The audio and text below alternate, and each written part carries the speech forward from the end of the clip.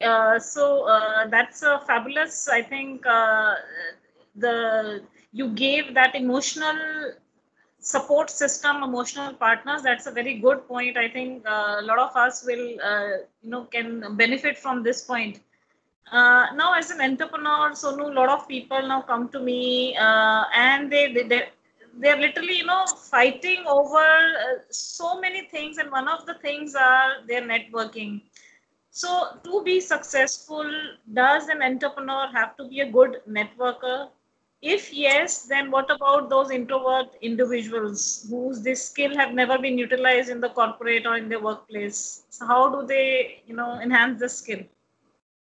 Okay so again i can give only my perspective. And uh, i don't believe in networking, networking within uh, quotes. Networking, to my mind, is very different from relationship building. I am a hmm. believer of building relationships. I am not a believer of networking because to me, networking is very shallow. It's very hmm. transaction oriented it's uh, you know i need you to do this and therefore i'm trying to talk to you now and because i'm talking to you i expect you to do something for me i don't believe in it. That's not my philosophy. Hasn't been my philosophy. I, I am a relationship builder and i believe that relationships are built over a period of time and relationships good relationships are not built on a give and take. There is no quid pro quo. In re- relationships, you may be the giver for the longest time, but if the relationship is good, the person that you have, you know, build that relationship with is always available to you uh, should you need any help. Introverts, not a problem. I mean, uh, and therefore, you know, the, the the the image of networking is this American hustle where everybody is go- going out and introducing, "Hi, I'm so and so. I do this, and what do you do?" And Yana, let's get together. Let's have a coffee. Let's have a drink. Uh, yes, introverts may find that difficult, but uh, building a relationship can happen on the phone call. It can happen through emails. It can happen through uh, in-person meetings, you don't have to be an extrovert to build good relationships. And unlike networking, where it is the quantity that matters, in relationship building, it is the quality that matters. So I am not a believer of networking. I am a believer of building relationships. That's a wonderful perspective, and I'm sure it would be a sigh of good relief for all the introverts. I being one of them.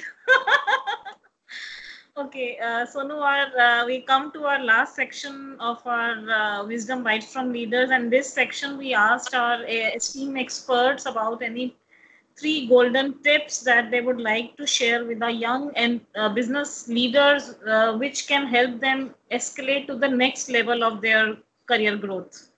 So, any tips that you would like to share?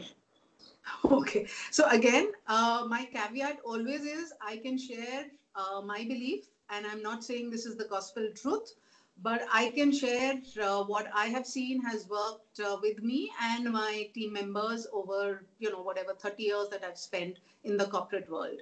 One is believe in yourself. Uh, uh, that you cannot do well in life if you do not believe in what you're doing people may not people may not always uh, uh, or people may try and get you off your belief but believe in yourself. And i'm not saying be foolhardy and uh, uh, be arrogant but believe in yourself. To whatever you are doing give it your best shot. According to me you cannot plan where you're going to be 5 years from today 10 years from today. But what you can do is to what to give anything that you are doing, give it your best shot because it's only when you are true to the job that you are doing that you will go uh, further in life. And my third uh, uh, advice is uh, stop cribbing. You know, nobody is happy in uh, the job that they are doing. Everybody thinks that their boss is an idiot. Everybody thinks that they have teams that are incompetent everybody believes that you know if they stop going to work, the company is going to shut down. My advice to them is please take a month off, go on a vacation, go to Honolulu, go to Hawaii. And when you come back, you will see that the company is doing well. Nobody has uh, missed you really. And, um, and if you really are unhappy about the job, change it. But till you are getting the salary from the job that you are doing, please respect the job that you are doing. That is my only advice. Very nice, very nice, and very practical, though, you know.